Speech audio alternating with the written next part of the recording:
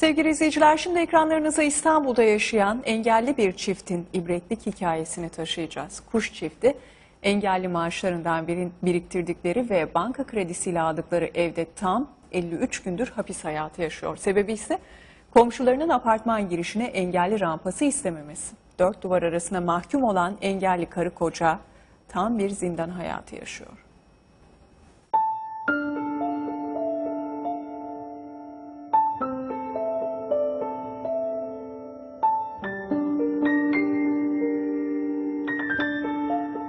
Lüks bir şey olmayabilir ama bizim için saraydır burası.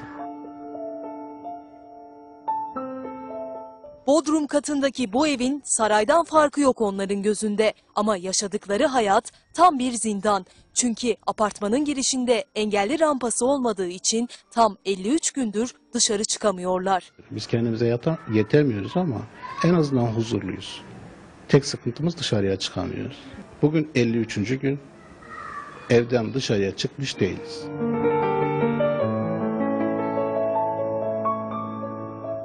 Deniz Kuş ve eşi engellerle mücadele ederek başlamış hayata. Eşim çocuk verecek. %80 lira ağır engelli. Kendim kas hastasıyım.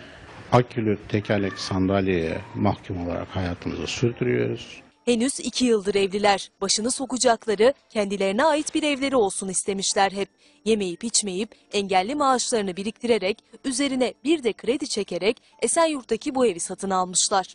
Ben bunları yaşayacağımı bileydim. Esenyurt'a gelmezdim. Kuş çifti 13 Ağustos günü aldıkları bu evde adeta hapis hayatı yaşıyor. Onların yaşadığı ev alma, komşu al atasözünü kanıtlar nitelikte. Çünkü onlar evden giriş çıkış yapabilmek için bir rampa istiyorlar ama komşuları dairenin fiyatı düştüğü için bu rampayı istemiyor. alt katlı bir binada yaşıyoruz ve bunun dört dairesi evlerinin fiyatları düştüğü için engelli rampasını kabul etmiyor. Ben burayı almadan önce e, müteahhitin bana söylediği buradaki insanların iyi olduğu, kendileriyle görüştüğü, bizlere rampa yapma konusunda daha da onların yardımcı olması gerektiğini söylediklerini söyledi bana. Ben ona istinaden buraya aldım. Belediyenin imar bölümündeki imar başkanlığı projeyi değiştirdi. Kaldırıma kadar rampa olabilir niteliği taşımakta. Binaya tam iki kez engelli rampası yaptırılmış. Ama saçtan yapıldığı için bina sakinleri Esenyurt Belediyesi'ne şikayette bulunarak rampayı kaldırmış. Yaşayan bir ölüye döndü. Burada kurulu bir rampa vardı. En azından burada e, bir ekmekten bahsediyorum. Sıradan bir şeyden değil.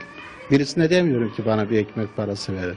Veya işte efendime söyleyeyim beni e, bir tarafa götürün benim bu eksiğim var demiyorum. Evet bizim bakıcılarımız da var ama onu ben kendi arabamla gidip aldığımda o benim için moral oluyor. Engelli çiftin tek dileği onları dört duvar arasına mahkum eden rampanın bir an önce yapılması.